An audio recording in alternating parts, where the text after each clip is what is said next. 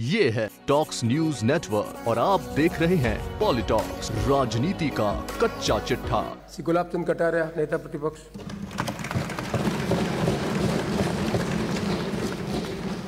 अध्यक्ष महोदय आज के इस ऐतिहासिक चर्चा पर आपने और मुख्यमंत्री जी ने राजस्थान के हम सब जनप्रतिनिधियों को इस संविधान दिवस पर संविधान पर भी और इसके पूर्व के कार्यकाल और इसमें रही कमियाँ और भविष्य में होने वाले सुधार के बारे में तो चर्चा इस राजस्थान के इस विधानसभा में रखी, इसलिए मैं आपका और मुख्यमंत्री जी को धन्यवाद देना चाहता हूँ। उत्तर प्रदेश में भी इस प्रकार की चर्चा हुई है। मैं सोचता हूँ एक अच्छी शुरुआत है, लेकिन इस शुरुआत को करने के पहले हमको अपना दिल और दिमाग केवल देश पर केंद्रित करना चाहिए, व्यवस्था के सुधार के लिए क्या प्रयत्न किया जाए, इसको मेन बिंदु पर रखकर अगर चर्चा करेंगे तो चर्चा सार्थक भी होगी और आने वाली पीढ़ियों के लिए भी ये माइलस्टोन का काम करेगी। और इसलिए मेरा विनम्र आग्रह है कि कमियाँ खामियाँ अगर कोई संवैधानिक हुई है तो उस पर चर्चा करना तो हम सबका अधिकार है, उस पर आप ज़रूर करें। लेकिन केवल उसको आधार बनाकर इधर उधर की बात करना, मैं सोचता हूँ इस संविधान दिवस पर इस प्रकार की बात करना देश के हित में नहीं रहेगा, लोकतंत्र के हित में नहीं रहेगा। कृपा करके इसको सीमित करने का प्रयास करें। अध्यक्ष महोदय, वास्तव में इस देश की आज़ादी के लिए अठारह सौ सत्तावन से जिन लोगों ने संघर्ष किया और जिन परिस्थितियों में किया, वो वास्तव में आपके और मेरे लिए बार बार उस पर दृष्टि डालने की आवश्यकता है। मंगल पांडे से शुरुआत करने के बाद तांत्या टोपे हो, चाहे महारानी लक्ष्मीबाई हो, ऐसे लोगों ने जिस देश की स्वाधीनता की, उस मन की कसक को जनता के बीच में लाने का जो प्रयत्न किया, पता नहीं देश के कितने जाने अनजाने लोगों ने इस स्वाधीनता आंदोलन में अपना सर्वस्व देने का प्रयत्न किया। कुछ लोग फांसी के तख्ते पर चढ़े होंगे, कुछ ने गोली खाई होगी। लंबे समय तक जेल की यातनाएँ भुगती होगी, लेकिन मन का एक ही संकल्प था कि मेरा देश आज़ाद होगा। दो दो जन्म की कारावास भुगतने वाला वीर सावरकर अंडमान की जेल में भी यही सपना संजोए बैठा रहता था कि कभी न कभी मेरा देश आज़ाद होगा और आज़ाद देश में मेरा देश और देशवासी तरक्की करेंगे। और इसलिए सच में उन सब महापुरुषों को जिन्होंने आज़ादी के उस शुरुआती अभियान में जो प्रारंभ शुरू किया और उसके बाद देश की आज़ादी में महात्मा गांधी से लेकर जवाहरलाल जी से लेकर मौलाना अब्दुल कलाम आज़ाद हो, चाहे सरदार पटेल हो, इन सब लोगों को आज के हम दिन, जिस वातावरण में आज हम बैठे हैं और जितनी आनंद का अनुभव कर रहे हैं, इस आनंद के अनुभव में उन सब लोगों के लिए अपने शरीर का तिल तिल जलाना और शरीर का सर्वस्व दे करके भी देश की आज़ादी का सपन का साकार करने का जिन्होंने प्रयत्न किया, उनके प्रति हम और हमारा संपूर्ण सदन बहुत नतमस्तक होकर उनको इस बात के लिए कि आपके इस दिखाए हुए रास्ते को हम आगे बढ़ाने का प्रयत्न करेंगे। आपको और मुझे सबको पता है कि देश की आज़ादी के समय और गुलामी के समय इस देश की स्थिति क्या थी। आर्थिक दृष्टि से जो विपन्नता थी, गरीब और अमीर के बीच की जो खाई थी, देश में संसाधनों का जिस प्रकार से कमा था, पीने का पानी उपलब्ध नहीं था, खाने का अनाज उपलब्ध नहीं था। और अस्पृश्यता ने तो इस देश को झकड़ के रख रखा था। किसी की परछाई पड़ जाती तो भी घर जाकर स्नान करना पड़ता था। इन सारी विपरीत परिस्थितियों में देश ने आज़ादी प्राप्त की और उस आज़ादी को आज इस सत्तर साल के बाद हम जिस टाइट पर हैं, उसके लिए अगर कोई मेरुदंड का काम किसी ने किया तो इस संविधान दिवस ने किया। सच में हम सबको उन महान व्यक्तित्व को बार बार याद करना चाहिए और प्रणाम करना चाहिए कि उन्होंने देश की उन सारी विपरीत परिस्थितियाँ। मैं सोचता हूँ उनकी कल्पना करें तो रों कांपने लग जाता है। शरीर में एक तरह से लगता है कि हम कहाँ से कहाँ तक आए हैं और उसमें किसी प्रकार की हिंसा इस देश में नहीं हुई। किसी प्रकार का कोई असंतोष नहीं ज़ाहिर हुआ। हर व्यक्ति ने इसको स्वीकार करते हुए देश को आगे बढ़ाने का प्रयास किया। तो सच में उस आज़ादी के उन सब लोगों को हम बार बार नमन करते हैं। इस बात के लिए हम बार बार इस बात का ध्यान रखें कि आज़ादी के पूर्व इस देश की स्थिति क्या थी। आज़ाद हुआ उस समय देश कहाँ था? विभाजन की त्रासदी जो हमने भुगती थी और जिस प्रकार का एक वैमनुष्य संपूर्ण देश में आ चुका था, है ना, धर्म के आधार पर देश का बंटवारा और उसके बाद एक का दूसरी की ओर पलायन करना, जो नरसंहार का नाटक इस देश में देखा, उस सारी विपरीत परिस्थितियों के बाद भी, मन में कटुता के बाद भी इस देश ने इन महान संविधान निर्माताओं के कारण से देश में शांति, अमन, चैन और उसके साथ ही देश आगे बढ़ने की और रास्ते पर आया। सच में, उन संविधान निर्माताओं की उस योगदान को ये देश आज नहीं, पीढ़ियों दर पीढ़ियों तक नहीं भूलेगा, जिन्होंने वास्तव में इन विपरीत परिस्थितियों में भी देश को निकाल कर एक सही रास्ते पर डालने का, एक कानूनी प्रावधान और संविधान के आधार पर देश को मोड़ने का एक सफलतम प्रयोग किया। और आज सत्तर वर्ष के बाद आप और मैं ये कह सकता हूँ कि वास्तव में जहाँ आज हम हैं, उन व्यक्तियों की उस सोच और उस दस्तावेज़ के कारण, जिसके कारण से हम यहाँ तक पहुँचे हैं। मैं सोचता हूँ कि संविधान सभा का गठन पहली मीटिंग दिसंबर छियालीस में होगी। डॉक्टर राजेंद्र प्रसाद जी को उसका ज़िम्मेदारी दी। उन्होंने विभिन्न प्रकार की सत्रह कमेटियाँ बना करके अलग अलग विषय अलग अलग कमेटी को दे करके, और उसके साथ ही संपूर्ण देश के सब प्रकार के लोगों को इस बनने वाले संविधान के मसूदे के बारे में अपनी अपनी राय अपने अपने विचार अपने अपने क्षेत्र की परिस्थितियाँ, सभी प्रकार की जाति संप्रदाय, सभी प्रकार के धर्मों के लोगों को राय लेकर के इस मसदों को तैयार करने का प्रयत्न किया। मैं सोचता हूँ कि इस मसदों को तैयार करने में जितना समय लगा, वो वास्तव में तीन वर्ष के आसपास है।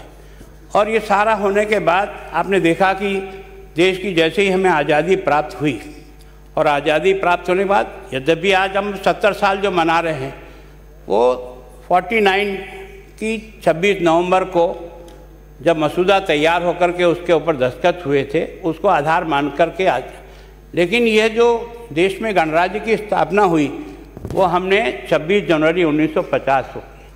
उसका भी एक ऐतिहासिक कारण था इस कारण से कि, क्योंकि 26 जनवरी दो उन्नीस में रावी के तट पर जो कांग्रेस का अधिवेशन हुआ था, उस अधिवेशन में ये घोषणा की थी कि संपूर्ण स्वराज हम प्राप्त करेंगे। और उसकी जो शपथ ली थी, उस शपथ के ऐतिहासिक दिन को इस संविधान के डॉक्यूमेंट के साथ जोड़ने के लिए हमने इसको 26 जनवरी 1950 को स्वीकार किया। उसके पीछे जो ऐतिहासिक कारण था, उस कारण से हमने इसको डॉक्यूमेंट को स्वीकार किया। मैं सोचता हूँ कि उस समय जो कुछ भी था, उस काम में लगभग एक सौ पैंसठ दिन तक इसकी बैठक चली। है ना 114 दिन तक ये जो ड्राफ्ट का जो काम दिया था, वो अंबेडकर जी को दिया था। मैं सोचता हूँ सारा जो कुछ भी मटेरियल इकट्ठा हुआ, उस मटेरियल इकट्ठे होने को एक लेखबद्ध करने का काम जो सबसे कठिन और सबसे उस चुनौतीपूर्ण काम को उस व्यक्ति ने किया और उसके कारण से देश आज ही उसके प्रति बहुत ही नतमस्तक है कि वास्तव में उस व्यक्ति ने जिस प्रकार का डॉक्यूमेंट तैयार किया और देश का क्या सौभाग्य है कि वो सारा हस्तलिखित है। सारा का सारा डॉक्यूमेंट हस्तलिखित है और वो भी इतने सुंदर अक्षरों में है और उसमें किसी भी प्रकार की एक त्रुटि नहीं है। आज भी वो आश्चर्य में जो डॉक्यूमेंट पड़ा है, वो वास्तव में उस व्यक्ति के प्रति बहुत देश कृतज्ञ है कि उसने अपनी हस्तलिपि से इतना बड़ा डॉक्यूमेंट जो लगभग तेरह किलो वज़न का है, उसको उसने तैयार करके इस देश को सुपुर्द किया। आप, हम भाग्यशाली हैं कि उन सब लोगों के कारण से हम इस प्रकार से पहुँचे मैं सोचता हूँ कि इस संविधान में जिन मूल अधिकारों को दिया, उसके कारण से देश में सभी प्रकार के जाति, धर्म, लिंग, भेद सबको मिटाकर, संपूर्ण देश को एक व्यक्ति की तरह से ये समझ के कि ये एक सौ बीस करोड़ या 115 करोड़ नहीं है। प्रत्येक व्यक्ति हिंदुस्तान है। इसको मान करके जो कानूनों की रचना की है। मैं सोचता हूँ समानता के अधिकार में अभिव्यक्ति की अधिकार दिया, अस्पृश्यता आप और मैंने अपनी आँखों से देखा है। हमने अपना बचपन भी देखा है कि अस्पृश्यता इस देश का दुश्मन था। और मैं सोचता हूँ महात्मा गांधी ने अपने जीवन का अधिकांश समय इसी बात पर लगाया था कि इस बुराई का अंत कब होगा, कैसे होगा, और व्यक्ति व्यक्ति के मन में देश के प्रति और संपूर्ण समाज का देखने का दृष्टिकोण कब बदलेगा, इसके लिए प्रयत्न किया। मैं सोचता हूँ कि पंचायत राज और ये जो आप और हम सब लोग यहाँ जो बैठे हैं, जीवन में कभी कल्पना भी नहीं कर सकते कि गुलाब चंद कटारिया देलवाड़ा में पैदा होने वाला इस विधानसभा के सत्र में इतनी बार यहाँ आ सकता है।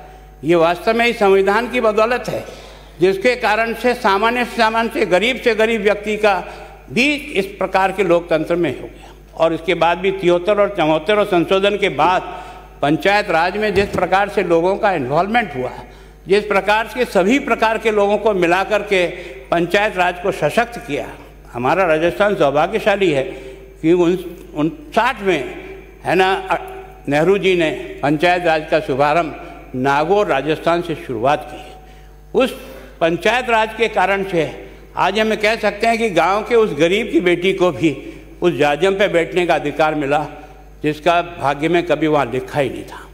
वो हमेशा उसके लिए जहाँ जूतियाँ खुली रहती थी, वहाँ बैठ कर के वो सारा दृश्य देखती थी। उस समय उसको कितनी पीड़ा होती थी। लेकिन इस लोकतंत्र के इस डॉक्यूमेंट ने, इस संविधान ने इस प्रकार की ताकत दी कि संपूर्ण समाज के छोटे और बड़ों को बराबरी में ला करके उनके अधिकारों के साथ खड़ा करने का प्रयास किया। मैं सोचता हूँ कि हमने नागरिकता पंथ निरपेक्षता और हमने इस संविधान में अल्पसंख्यकों के अधिकारों की रक्षा के लिए भी विशेष प्रोविज़न करके हमने इस देश में भलाई, देश के विभाजन के समय मन में भारी कटुताएँ हो सकती थी, लेकिन उसके बाद भी इस संविधान के डॉक्यूमेंट के आधार पर इतनी बड़ी संख्या में रहने वाले उस वर्ग को भी लोगों ने आत्मसात किया और आत्मसात करके देश के साथ आगे बढ़ाने का प्रयास किया। मैं सोचता हूँ कि जो चुनाव की प्रक्रिया इसमें दी है, अगर इस संविधान की सबसे बड़ी कोई आत्मा है तो यहाँ का लोकतांत्रिक चुनाव है। मैं सोचता हूँ कि दुनिया के ऐसा देश शायद कोई नहीं होगा जिसमें इतने चुनाव हो गए, सरकारें आई और चली गई।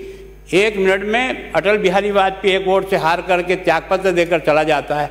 कोई खून खराबा नहीं होता है, कोई विरोध नहीं होता है, कोई शक्ति प्रदर्शन नहीं होता है।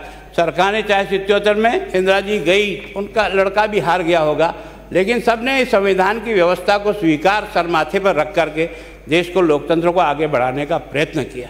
ये वास्तव में इस डॉक्यूमेंट की विशेषता है जिसके कारण से मैं कहता हूँ, समाज में आरक्षण देने का भी व्यवस्था की, क्योंकि समाज के अंदर ये पड़ी हुई खाई को कैसे पूरा किया जाए। इसलिए उस कमज़ोर वर्ग को भी आरक्षण के माध्यम से आगे बढ़ाने का प्रयास किया। मैं सोचता हूँ इसी प्रयोजन के कारण से आपने देखा होगा कि ओबीसी का भी आरक्षण इसी संविधान के प्रावधान के तहत आपने देखा होगा कि उस सूची के कारण से ओबीसी के जो जाति समुदाय कमज़ोर मानी जाती है उनको।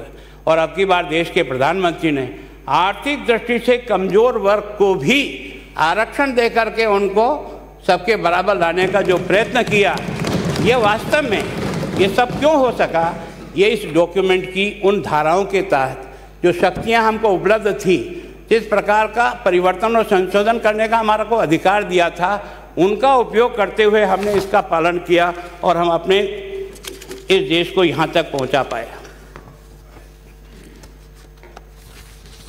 इस देश ने कितनी बड़ी आपतें झेली, लेकिन ये देश इस संविधान की ताकत के कारण से कभी भी डिगा नहीं, हिला नहीं। आपने देखा होगा कि देश की आज़ादी के साथ कबायलियों का आक्रमण कश्मीर पे होना और हिंदुस्तान की फौजों ने उसको खदेड़ करके इस जम्मू कश्मीर के इस हिस्से को बचाने का जो प्रयत्न किया, वो भी इसी में से है। पैंसठ का युद्ध इस हिंदुस्तान ने भुगता और उस युद्ध को भी उन्होंने सारे इकोतर का युद्ध, जिसमें हमने बांग्लादेश बनाया, पाकिस्तान को दो टुकड़ों में तोड़ने का प्रयास किया और इसलिए देश के उस समय के प्रधानमंत्री इंदिरा गांधी के बारे में अटल बिहारी वाजपेयी हाउस में बोलते हुए कहते हैं कि वास्तव में इंदिरा दुर्गा के रूप में है, जिसने देश को सम्मान दिया। हमने ये छोटा मन नहीं रखा। इस प्रकार से देश को जब किसी से ताकत मिलती है तो छोटे मन से सोच करके आलोचना करने से देश आगे नहीं बढ़ता है। मैं सोचता हूँ उस व्यक्ति की उस महानता के कारण से हमने देखा, लेकिन आपातकाल भी हमने भोगता। और आपातकाल में आपने देखा होगा, एक कोर्ट के फैसले से अयोग्य घोषित होने के बाद संपूर्ण हिंदुस्तान को जेल खाना बना दिया। न कोई हमने कोई जुर्म किया था, न कोई अपराध किया था। लेकिन हमको उन धाराओं में डाल करके 18 18 महीने तक जेल में डाले रखा।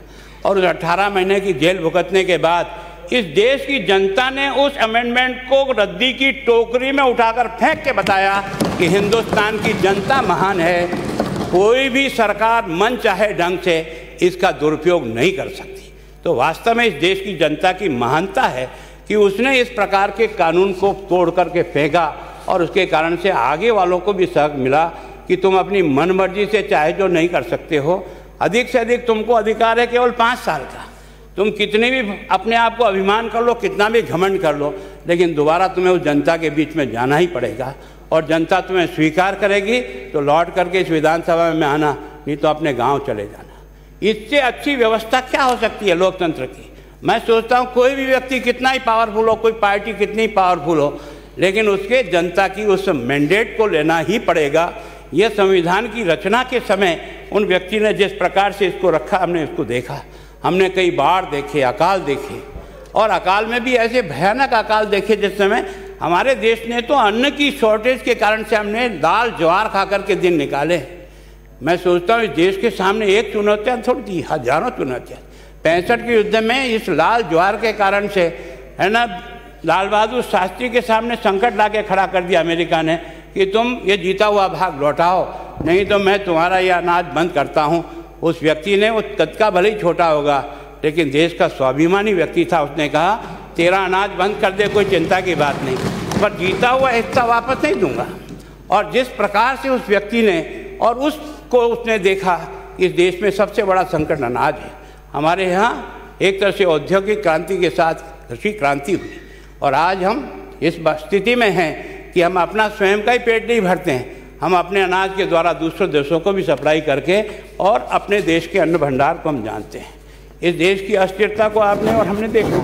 जब से गठबंधन सरकारें बननी शुरू हुई 89 से लेकर के लगातार गठबंधन सरकार के कारण से लोकतंत्र में कमज़ोरी ज़रूर आई। और उसके कारण से परिस्थितियाँ कई बार उलट फेर में चलती रही, लेकिन ठीक प्रकार से नहीं बोला। बम विस्फोट इस देश का एक तमाशा बना हुआ था। रोज़ कहीं न कहीं कभी जयपुर में फटता था, कभी अजमेर की दरगाह में फटता था, कभी किसी रेलवे स्टेशन पर फटता था, कभी किसी मस्जिद में उड़ता था। लेकिन इस त्रासदी को भी हमने भुगतते हुए, देश को इतना मज़बूत किया कि पिछले लंबे समय से, पिछले पाँच छः साल से एक भी बम विस्फोट नहीं होना हिंदुस्तान की लोकतंत्र की ताकत है। आपने देखा होगा हमारे यहाँ आप और हम सब सब पच गया था उस समय, जब हमने एक के बाद एक घोटाला, जब रोज़ अखबार में उठ के डरते थे, कोई टू जी का घोटाला हो जाता, कोई शक्कर खा गया, कोई यूरिया खा गया, कोई घास खा गया, कोई क्या खा गया, देश का दुर्भाग्य। ये ना देश की जनता ने ईमानदारी से मैं कह रहा हूँ, छोटा बच्चा भी जो है ना, मैं एक ट्रेन में जा रहा था, मैंने ये जो सारे है ना, मैं आज अपने दुखी मन से कह रहा हूँ कि मेरे उन सफ़ेद कपड़ों के मैं धोती और जब्बे के नाम मैंने कुछ पहना नहीं था। लेकिन एक पाँच साल का बच्चा भी माँ की गोद में मुझे नेता समझ करके इशारा करके कि चोर बैठा है। मैं चोर नहीं था, लेकिन वो जो ड्रेस थी हमारी, उस ड्रेस ने अपने आप को इतना नीचे गिरा दिया, इतना नीचे गिरा दिया कि जन चर्चा का विषय हो गया कि देश का राजनेता कर क्या रहा है। ये देश का राजनेता जा कहाँ रहा है? इस लोकतंत्र को कहाँ ले जाना चाहता है? उस त्रास्ती में से भी हमारा देश जो है ना, वो निकला। आतंकवाद में इस देश को जलाकर कितना खाक किया।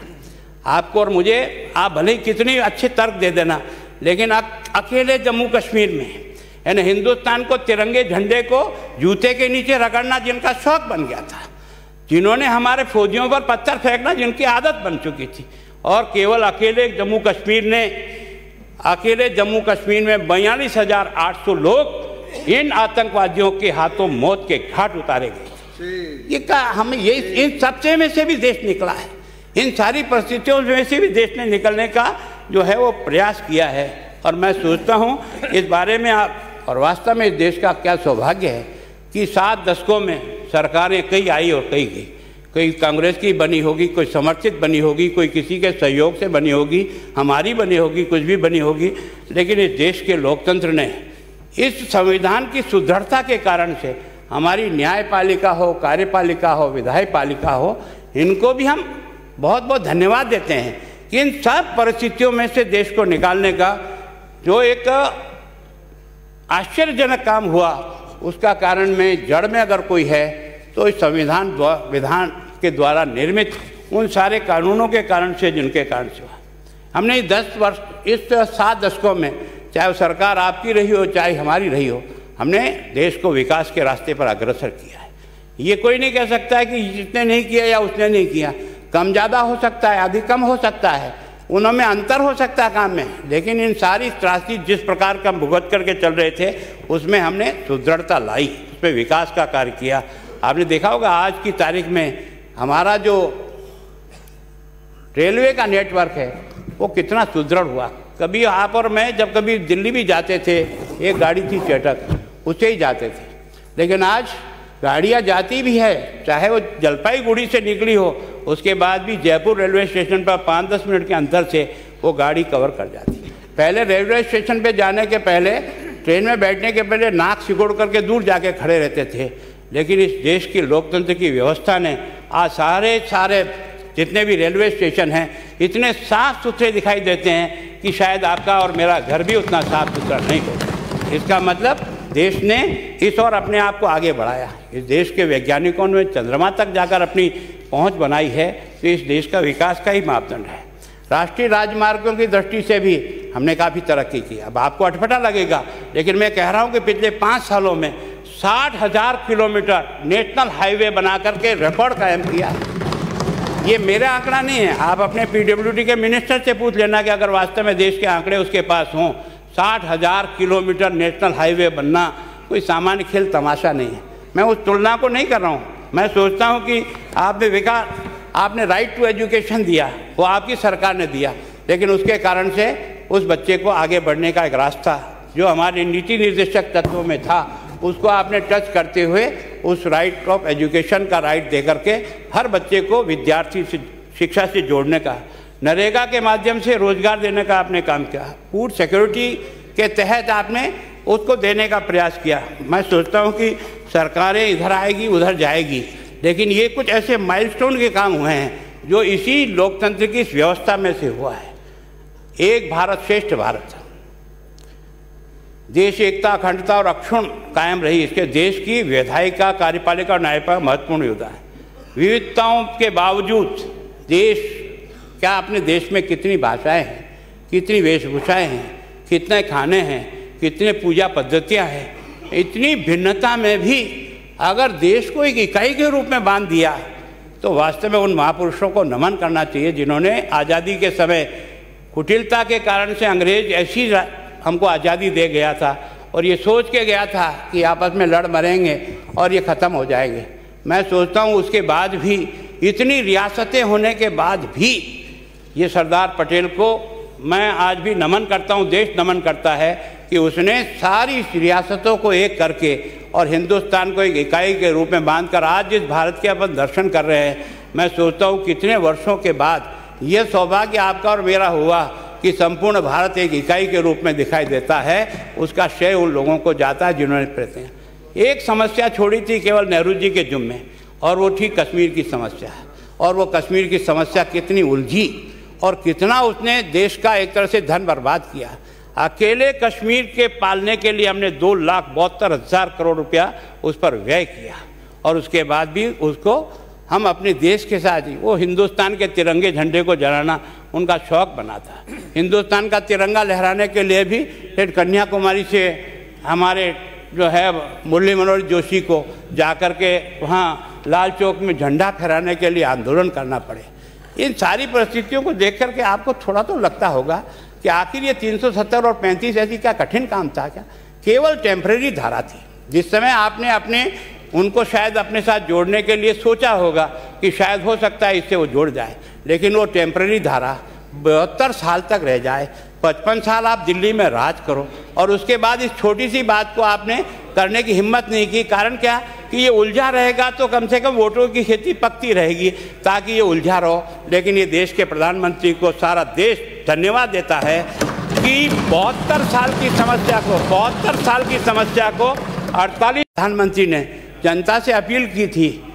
नेशन फ़र्स्ट इस बात को लोगों के दिलों में उतारने का प्रयास किया। और उस उतारने का सफलता का आधार क्या बना?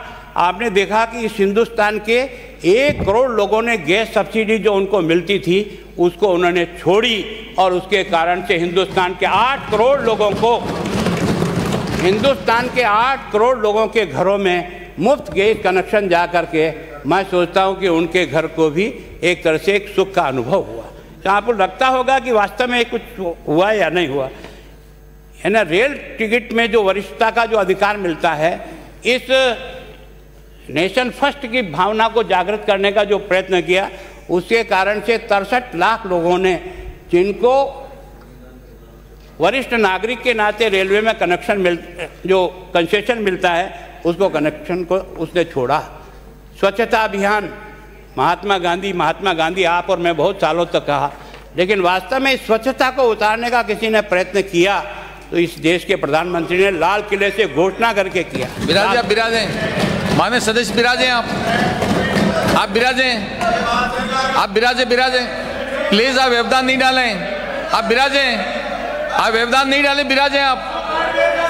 आप बिराजे आप। आप बिराजे बिराजे। माने सदस्य बिराजे। मैं सोचता हूँ कि आज हर व्यक्ति और हर व्यक्ति के मन में ये भावना आई है कि हमें वास्तव में स्वच्छता की ओर ध्यान देना चाहिए। आज आप जाएँगे, बस स्टैंड आपको साफ़ मिलेंगे। आज जाओगे, आज आपको रोड साफ़ मिलेगा। अगर कोई गिरा भी दिया किसी ने तो पीछे चलने वाला आदमी उस गिरे हुए को हाथ में लेकर के जाता और कूड़ेदान तक जाकर उसको डालता है। ये काम पचास साल पहले भी हो सकता था। ये आज की इंतज़ार क्यों कर रहा था? इसका मतलब इस देश की भावना को जगाने का अगर प्रयत्न करो तो देश की जनता आपका साथ देने को तैयार है। ये जो एक नया नारा है कि प्लास्टिक मुक्त भारत हो। निश्चित रूप से इस प्लास्टिक ने हमें कितना बर्बाद किया है, ये आप और हम सब रोज़ अनुभव करते हैं और स्वयं अपने जीवन में देखते हैं। लेकिन इसकी और भी कदम बढ़ाने का प्रयास इस व्यक्ति ने जो है वो किया है। मैं सोचता हूँ, ये अयोध्या का जो समस्या है, आलोचना करना या बात करना, वो आप कर सकते हो, कोई दिक्कत नहीं। अयोध्या का फैसला कोई सरकार ने नहीं किया। संविधान के, संविधान में लिखा है।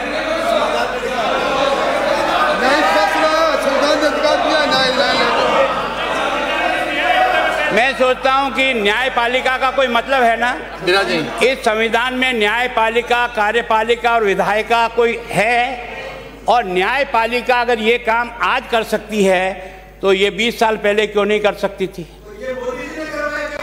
न्यायपालिका ने न्यायपालिका ने हैं हैं है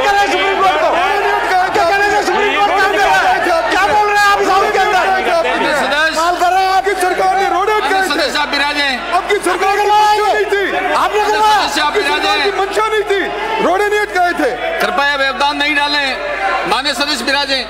आप बिराजे सब। मान्य सदस्य बिराजे। आप बिराजे। सभापति महोदय। मान्य सदस्य। हाँ खड़े हो मान्य सदस्य आप बिराजे। और हो जाए। अरे हो जा खड़ा। मान्य सदस्य आप? बिराजे। खड़ा होने से क्या हो जाता है? सच्चाई को स्वीकार करना पड़ेगा। सुप्रीम कोर्ट को आप चला रहे हैं। आप चला रहे हैं सुप्रीम कोर्ट को। सुप्रीम कोर्ट आपके कहने से कर रहा है। ये तुमने करा है। तुम क्या कर रहे थे? गीत गा रहे थे? तक लटकाया। साल में पर पक्षकार बोलना सीख रहा है क्या के कार्य में व्यवधान पैदा करते चले गए। कहते राम पैदा ही नहीं हुआ। सुप्रीम कोर्ट को आपको साफ़ करने के और दम है। और दम है। तो विरोध करो खड़े होकर भगवान राम का विरोध करो दिखाओ करो मैं तो विरोध करेगा खड़ा होकर। मान्य सदस्य बिराजे अयोध्या का विरोध खड़े होकर करो दम है तो आप करने की क्षमता नहीं है। सुप्रीम कोर्ट का फैसला आपके कहने से हुआ क्या? और बाद में बीच में नहीं बोल सकते आप। ना पड़ेगा। ना पड़ेगा। ना पड़ेगा। ना पड़ेगा ठीक है मैं उतारना छोड़े ना सीखो हर बात को सुन नहीं सकते एक एक मिनट के अंदर खड़ा मंत्री बिराजे और सुनना पड़ेगा सुनना। बोलने से मंत्री नहीं बनाएँगे उसे सुधार करो। और पीछे से क्यों बोल रहे हो? अयोध्या का विरोध करना तो खुल के करो ना तब बोलने से मंत्री नहीं बनाएँगे। क्यों बोल रहे हो? न्यायपालिका फैसला आपके सर से होगा क्या? विरोध करो। नहीं नहीं, न्यायपालिका फैसला आप करा दो न्यायपालिका विरोध करो यदि अयोध्या का विरोध कर रहे हो तो। आप बिराजे आप एक मिनट आप आप बिराजे आप बिराज जाइए आप बैठ जाइए सेक्शन बनाना। बिराज। जाओ इनके कहने से सुप्रीम कोर्ट ने किया है। बहुत आपत्तिजनक है बहुत आपत्तिजनक है सदन के नेता भी नहीं। बोलेगा अग्रिय रात। नो सदन के नेता भी नहीं बोलेगा बिराज। जाओ इनको बिराजो बैठा है। कोर्ट से आप करवा रहे हो। हाँ, हाँ, आप करवा रहे हो सुप्रीम कोर्ट से। हो आप करवा रहे हो। हो। हो। क्या है ये? हाउस को डिस्टर्ब करने वालों को बाहर निकाला जाए माननीय सभापति जी। आप सबसे मेरा निवेदन है। आप बिराजो आप कल बहुत अच्छे सार गर्मिक तरीके से सदन को चलाया। मान्य नेता पर आप तो मत बोला ने मान्य सदस्य नेता प्रतिपक्ष बोल रहे हैं, सदन के नेता बोलेंगे। हमारा सबका दायित्व है कि संविधान जैसी मर्यादा पूर्वक बात को बहुत शालीनता के साथ में सभी सुनो, सीखने का सबको अवसर मिलेगा। हम सब इस सदन में बैठकर अगर यही काम करेंगे तो फिर बाहर संदेश हम क्या ले जाएँगे? माफ़ करो कोई इस तरह की बात हम कोई नहीं करेंगे। मान्य आप बैठ जाइए आप। आप बैठ जाइए। आप बैठो एक मिनट। बैठ जाऊँ? आप मुझे इससे बढ़िया मौका हमारे सबके लिए अच्छा नहीं हो सकता है। सब सुनो। आप माननीय सदस्य। आप आप बिराजो कट- आप काय में अनुमति दी आपने। कई में अनुमति दी इनको। आप बिराजो एक मिनट। काय में अनुमति दी आपने इनको। ये जवाब दे रहे हैं क्या?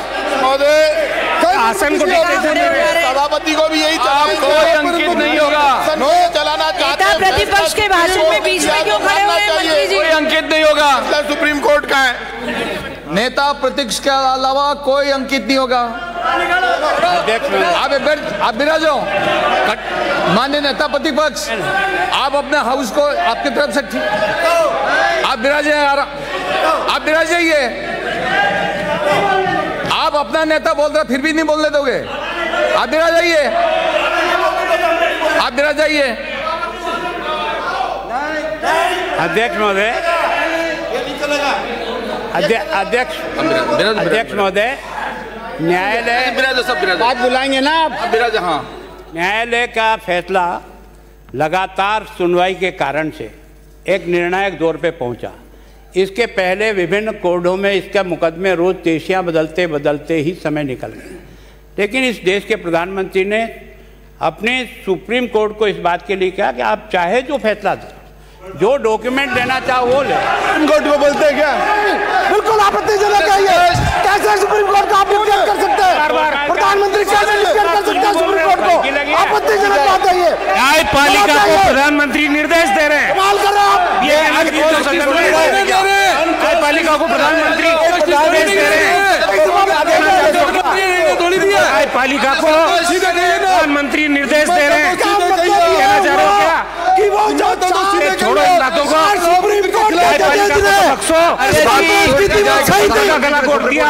न्यायपालिका को प्रभावित कर हैं दिया। देश की इकोनॉमी पे बोलो रोज़गार पे बोलो और उद्योग बोलो। सुप्रीम कोर्ट को कोई आदेश नहीं दे सकते। इस तरह इस तरह सदस्य बिराजो इस नहीं चलेगा सदन किसी की मत सदन मान्य मंत्री जी। राम मंदिर के विरोधी लोग हैं। प्लीज़ बिराजो बिराजो। का विरोध कर रहे हो। प्रधानमंत्री प्रधानमंत्री अरे? छोड़ो। ये इस तरह की? नौटंकी ये नोटंकी करना बंद कर दो। प्रधानमंत्री सर्वोच्च न्यायालय को निर्देश देंगे। आप ये कहना चाहते हो? नोटंकी नौटंकियाँ बंद कर दो। धारा तीन सौ सत्तर। मंत्री जी वहाँ राम मंदिर। कुछ हाथ लगने वाला नहीं है। के फैसले से कोई गलत फहमी मत रखना तुम लोग। राम मंदिर बनाने में भारतीय जनता पार्टी की कोई भूमिका नहीं है। भूमिका सुप्रीम कोर्ट की है और भगवान राम की कृपा से राम मंदिर बन रहा है। सभापति महोदय ये सीधे देश की इकोनॉमी पे बात करो। सीधी बात को सुनना नहीं। राम मंदिर का इतना ऐतिहासिक दिया कोई भूमिका नहीं है बोलेंगे राम मंदिर से प्रॉब्लम है। प्रधानमंत्री खुल के विरोध करो राम मंदिर का समस्या है प्रॉब्लम है मंदिर के विरोध करो खुल के हम नहीं चाहते घुमा फिरा के बात मत करो 2014 में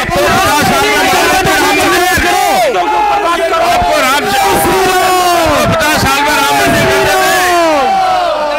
श्री राम श्री राम श्री राम श्री राम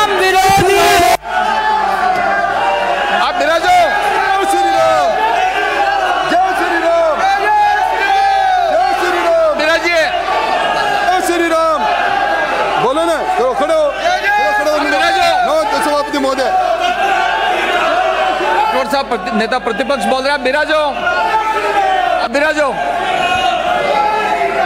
बिराजो बिराजो बिराजो बिराजो बिराजो मैंने ये नहीं कहा कि सरकार ने फैसला किया। मैंने ये नहीं कहा कि उन्होंने फैसला किया। मैंने ये नहीं कहा कि प्रधानमंत्री जी ने फैसला किया। प्रधानमंत्री ने फैसला कोर्ट ने ही किया।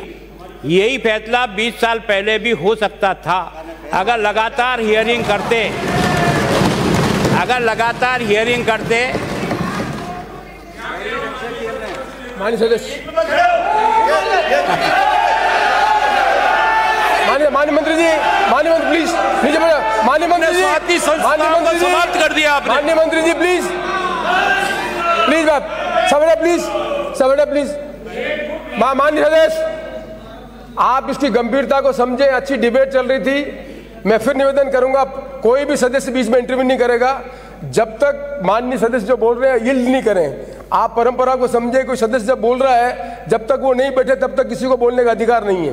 कष्ट करके इतना पेशेंस रखें पार्लियामेंट्री प्रैक्टिसेस की किताबों को पढ़ें, नियम और कानून को पढ़ें, इस बात की परंपरा को समझें। मैं आपसे भी निवेदन करूँगा, सभी मान्य सदस्यों से निवेदन करूँगा कि आप गंभीरता को समझते जिस तरह से कटारा साहब डिबेट को कर रहे हैं, आप कृपया करके बीच में इंटरव्यू आप भी नहीं करें। और प्लीज़ आप फिर आपको बोल रहे हैं फिर क्या? आप बोल तो रहे क्या करें आप? आप कब आप कृपया आप खुद रहिए ना। आप खुद ही गंभीरता को समझिए इस बात को। मैं आप सबसे निवेदन करूँगा कि जिस तरह से हम अच्छी डिबेट कर रहे हैं, अच्छी डिबेट को अच्छी डिबेट की तरह ही जनता के बीच में जाने दें। पूरा का पूरा आपका प्रोसीडिंग यूट्यूब पे जा रहा है। तो जनता पूरी देख रही है कि नियम, कानून, किस तरह की डिबेट हम कर रहे हैं। हम इस डिबेट को इसलिए कर रहे हैं कि देश की जनता को, खासतौर से प्रदेश की जनता को यह मालूम पड़े कि संविधान में कर्तव्य क्या है, संविधान में हमारे क्या अधिकार है, और एक कर्तव्य के रूप में हम सिटीजन से आशा करते हैं कि वो कर्तव्य की पालन करें, और एक एमएलए के रूप में हम कर्तव्य का पालन नहीं करें, ये नहीं हो सकता। इसलिए मैं आपसे निवेदन करूँगा, कृपया अपने कर्तव्य का पालन करें, और कर्तव्य का पालन मतलब ये है कि कोई मान्य सदस्य बोल रहा है तो बीच में इंटरव्यू नहीं करें बैठे बैठे नहीं बोले जब जवाब देने का मौका मिलेगा, तब माननीय मुख्यमंत्री जी बोलेंगे। मुख्यमंत्री जी उन सब बातों का जवाब दे पाएँगे, जिनका माननीय प्रतिपक्ष के सदस्य अपनी बात ढंग से कह रहे हैं। इसलिए डिबेट की गरिमा को बनाए रखते हुए मैं पक्ष और विपक्ष दोनों से मैं सदस्यों से निवेदन करूँगा, कृपया एक अच्छी डिबेट हो रही है, उसकी महत्ता और इंपोर्टेंस को समझते हुए कृपया नियम और कानून का पालन करें, माननीय प्रतिपक्ष के नेता। मैं प्लीज़ मान सदस्य प्लीज़ मैं अलाउ नहीं करूँगा। I will not allow it I will not allow it I will not allow it please I will not allow it I will not allow it please मैं संसदीय मंत्री जी नहीं अलाउ करूँगा। मैं अलाउ नहीं करूँगा। रिकॉर्ड रिकॉर्ड नहीं हो। रिकॉर्ड नहीं होगा। रिकॉर्ड नहीं होगा। रिकॉर्ड नहीं होगा। आप बेटा please I will not allow it I will not allow it I say I will not allow it please आप बेटा प्लीज़ मैं आप बेटा प्लीज़ मैं अलाउ नहीं करूँगा। मैं अलाउ नहीं करूँगा आपको प्लीज़ मैं अलाउ नहीं करूँगा आपको। प्लीज़ आप गलत गलत परंपरा है आप बैठे। आप गलत परंपरा है आप संसदीय मंत्री हैं। आप खुद ही पालन नहीं करना चाहते, कौन पालन करेगा? मैं प्लीज़ बैठे आप। प्लीज़ बैठे आई सेड प्लीज़ बैठे आप। आप बैठे प्लीज़ आप ये गलत परंपरा आप सीनियर लीडर है, संसदीय मंत्री है। आप खुद एक चेयर पर खड़ा, अध्यक्ष बोल रहे खड़े होके। आप प्लीज़ बैठे आप प्लीज़ माननीय सदस्य, फिर बैठे बैठे बोल रहे आप। क्या परंपरा देना चाहते हैं आप? क्या मैसेज देना चाहते हैं सर? आप संसदीय मंत्री हैं अध्यक्ष खड़ा हुआ तो भी बोल रहे बैठ के भी बोल रहे खड़े होके भी बोल रहे मैं आपसे आशा नहीं करता हूँ। प्लीज़ मैं आशा नहीं करता हूँ आप। मान्य सदस्य मान्य सदस्य, मैं आपसे भी आशा नहीं करता हूँ।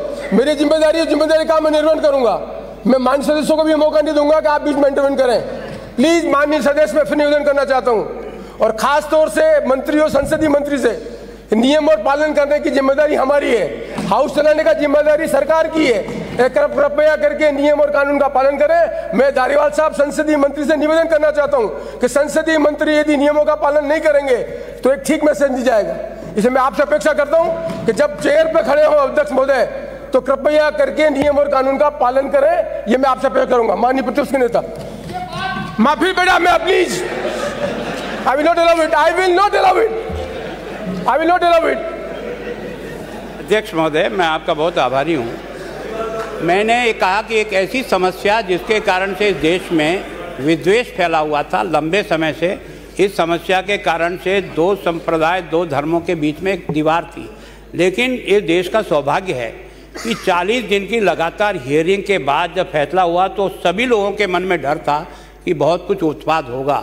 लेकिन देश की सभी हिंदू ने भी और मुसलमान ने भी उस न्यायाधीश, न्यायालय के आदेश को जो पाँचों की पीठ ने सर्वसम्मति से दिया, उसको देश ने स्वीकार करके एक वर्षों से उलझी हुई समस्या को एक हल होने का रास्ता मिला, जिसके कारण से देश में शांति और अमन चैन स्थापित हुई।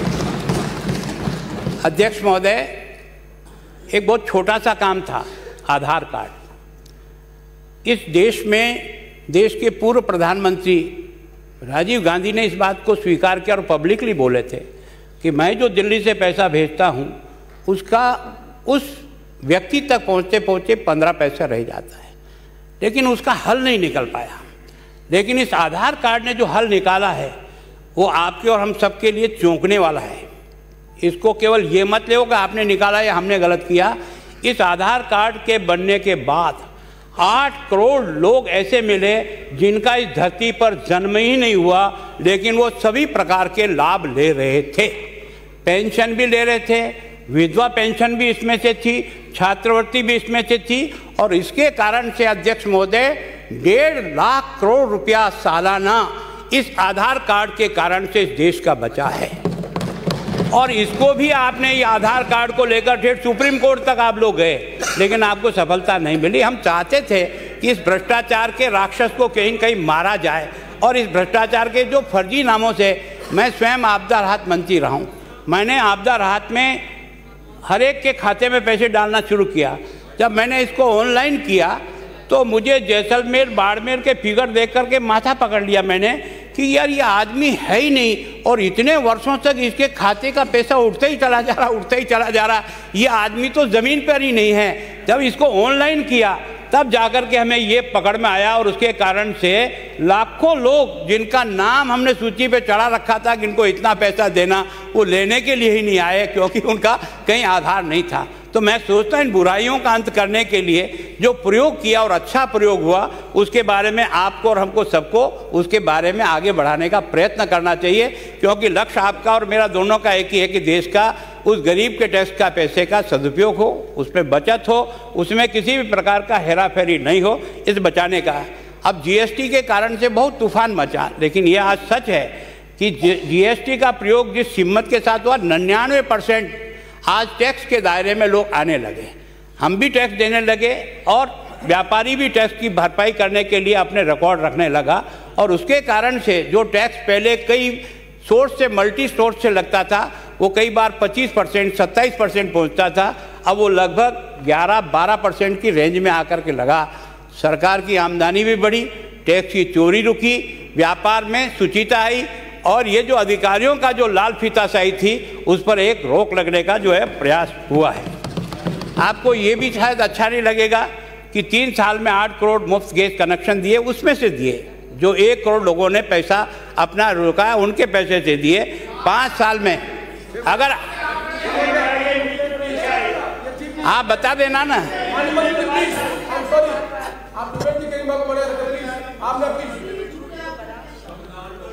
मैं सोचता हूँ कि डिबेट बंद कर दे। डिबेट बंद कर दे फिर।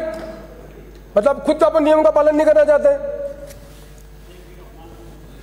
जी मैं क्या इस देश के उस गरीब आदमी को शौचालय का उपयोग करने का अधिकार नहीं? मैं और आपने कितनी ट्रेवलिंग की होगी? शाम के समय जब भी कभी निकलते थे अपनी मोटरसाइकिल लेकर के तो खेती के टाइम पर सब खेत बंद हो जाते थे सड़क के किनारे किनारे में ब्याह बहनें लेटरिन जाती थी। इस पीड़ा को वो गरीब ही जानता है, जिसको वहाँ जाना पड़ता है।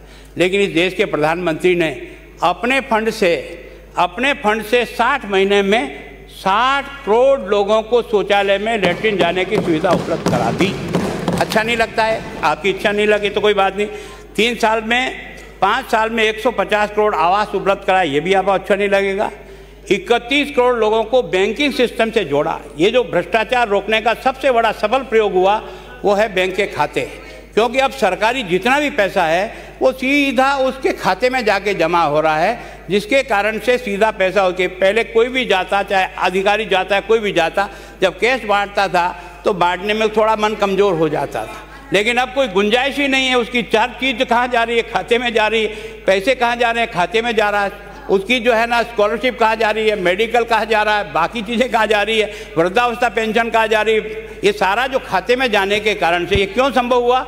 ये एक हर गरीब का खाता बैंक में खुला, उसने कभी सपने मैं आपको सही कह रहा हूँ, मैं जब पहली बार एमएलए सित्योतर बन के आया, तब बैंक का खाता मैंने इसी बैंक में पहली बार खुलाया, जब दो एमएलए का दस्तखत करा के मैंने बैंक में रिकॉर्ड दिया, तब मेरा खुला था। लेकिन इस व्यक्ति ने कहा, खोलो उसके कारण से इस देश में जो लीकेज है, जिनके कारण से लोग इसका दुरुपयोग कर रहे थे, उस पर एक रोक लगी और उसके कारण से इतने खाते पे आयुष्मान भारत के कारण से पाँच लाख रुपए की आर्थिक सहायता मेडिकल देना कोई गुनाह तो नहीं किया। है ना, हमने राजस्थान में पहले से भामाशाह योजना के तहत तीस हज़ार से तीन लाख रुपया दे करके उस गरीब को मदद करने का प्रयास किया। वो आपको भामाशाह के नाम से चिड़ थी, कोई बात नहीं। लेकिन इसने देश के संपूर्ण देश को इस आयुष्मान योजना के तहत जोड़ने का प्रयास किया और लगभग 50 करोड़ लोग इस आयुष्मान स्कीम के तहत पाँच लाख तक इसमें कवरेज हुआ। आपको ये भी अच्छा नहीं लगा, हिंदुस्तान के सब किसान जिनकी संख्या पंद्रह करोड़, छोटे, बड़े, सब, उनको किसान सम्मान निधि गई, इसको भी आपको अच्छा नहीं लगता है। अधिकार के साथ साथ मेरा जो विनम्र प्रार्थना है कि जब तक कर्तव्य है, वो ही अधिकार पैदा करता है। बिना कर्तव्य के अधिकार नहीं आता कभी भी, और आपने देखा होगा कि देश ना, महात्मा गांधी ने उस समय बहुत प्रारंभ में कहा था right is duty well perform है ना, अगर आप कर्तव्य करोगे तो अपने आप अधिकार आपके पास पहुँच जाएगा। मैं सोचता हूँ इस देश में, इस संविधान में सबसे बड़ी ताकत अगर कोई है तो उन्होंने इस और भी इंगित किया, नीति निर्देशक तत्व की तरफ़ इंगित किया, आपको ड्यूटीज़ के बारे में समझाने का प्रयास किया, ताकि अधिकार प्राप्त करो, लेकिन जो आपका अधिकार है वो किसी न किसी दूसरे का कर्तव्य भी है। और आपका जो कर्तव्य है, वो किसी दूसरे के लिए अधिकार का रूप बनता है। ये दोनों को साथ चलाने का भी। मैं सोचता हूँ कि इस व्यवस्था में आप देखो कि हमको कुछ न कुछ ऐसे कर्तव्य के बारे में भी, समाज को भी जागृत करना। अब बच्चों को शिक्षा के बारे में अब लगभग सब लोग जाने लगे। लेकिन मातृभाषा में शिक्षा हो, इसके बारे में अभी भी कमी है। हमको इस इस कर्तव्य को भी आगे बढ़ाने का प्रयत्न करना चाहिए कि हर व्यक्ति को अपनी मातृभाषा में शिक्षा लेने का अधिकार हो। मैं सोचता हूँ टीकाकरण के माध्यम से व्यक्ति को बचाने का ही प्रयत्न तो कर रहे हैं। अगर इस टीकाकरण में हम किसी प्रकार से लोगों को जोड़ने का प्रयत्न करें, उनकी शिक्षा दीक्षा या उनको समझाने का प्रयास करें तो मैं सोचता हूँ जो जनहानि हो रही है, उस जनहानि को केवल इस एक अभियान को ठीक प्रकार से चला लेने से हम इस पर नियंत्रण पा सकते हैं। अब मैं सोचता हूँ वोट देने का अधिकार है। एक पाँच मिनट, मैं खत्म वोट देने का अधिकार है, लेकिन कई लोग वोट देने जाते ही नहीं। वोट देने भी जाते हैं तो आप और हम सब जानते हैं क्या हो रहा है। मैं सोचता हूँ कि इसी तरह से भ्रष्टाचार इस देश के अंदर, इसको हम अपने कर्तव्य में लेकर के, मैं इससे मुक्ति दिलाऊँगा देश को इस बारे में। मिलावटखोरी आपने और हमने रोज़ सवेरे पढ़ते हैं, इसके बारे में भी इसको कर्तव्य में डालना चाहिए। आज मैं आपसे वो विनम्र प्रार्थना कर रहा हूँ अगर इस संविधान में जो कुछ भी लिखा गया है, उसका अगर अक्षर से आप और मैं और मेरी पार्टी और आप पालन करें तो इस देश को और ऊंचाई पर ले जा सकते हैं। लेकिन हमने राजनीति को राजनीति को गंदे रास्ते पर डाल दिया। हमने हमारे कैंडिडेट तय करते समय ये सोचा, इस जात के वोट कितने, इसके कितने, रोज बैठे बैठे गणित आप और हम यही लगाते हैं, और उसी के आधार पर इस जातिवादी जहर को, इस राजनीति ने इस देश को एक दूसरा नया है ना एक तरह से गिरने का रास्ता दे दिया। धनबल के आधार पर हम कैंडिडेट तय करते हैं। और अभी आपने देखा होगा, अभी हमने एक अमेंडमेंट किया कि 19 को रिज़ल्ट निकला नगर पालिका का और चेयरमैन बनेगा 26 को सात दिन तक वो क्या आदमी इतने घूम गए कहीं? ये 50 आदमी या 40 आदमी कहीं रहते नहीं हैं जिनको लाने में इतनी देर लगती है। केवल इस कारण से कि बाड़ेबंदी करो, धर्म परिवर्तन कराओ, पैसे के आधार पर राजनीति करो ये आपके लिए ठीक हो सकती है, मेरे लिए ठीक हो सकती है, पार्टी के लिए ठीक हो सकती है, पर देश के लोकतंत्र के लिए ठीक नहीं हो सकती। याद रखना, अमर होकर के नहीं आयो अमर होकर नहीं आयो न तुम अमर हो आए, ना हमें। इस गलत रास्ते पर देश के लोकतंत्र को मत डालो मत डालो। आने वाला भविष्य आप और हम सब इसको देखेंगे। केवल व्यक्तिगत स्वार्थों के आधार पर हम पार्टी का विश्लेषण करते हैं। मैं तो आप आप ये पहली बार हुआ है कि पॉजिटिव वोट पड़ा। बाकी हम आपकी आलोचना करें वोट ले जाएँ। आप हमारी आलोचना करें वोट ले जाओ। ये पहली बार जनता ने पॉजिटिव वोट देना शुरू किया। कृपा करके इस लोकतंत्र को, इस संविधान की मंशा के अनुसार मंशा के अनुसार पॉजिटिव क्षेत्र में लाओ। अगर कंपटीशन करना है तो विकास और काम के आधार पर करो। अपने चरित्र के आधार पर राजनीति को उठाने का प्रयत्न करो। अपने स्वयं व्यक्तिगत जीवन के आधार पर राजनीति, ये परिवार में फंस करके मरे जा रहे हो, फिर भी नहीं मानना चाहते हो तुम्हारी मर्ज़ी। मैं इतना ही कहकर अपनी बात खत्म हो रहा ये है टॉक्स न्यूज़ नेटवर्क और आप देख रहे हैं पॉलिटॉक्स, राजनीति का कच्चा चिट्ठा।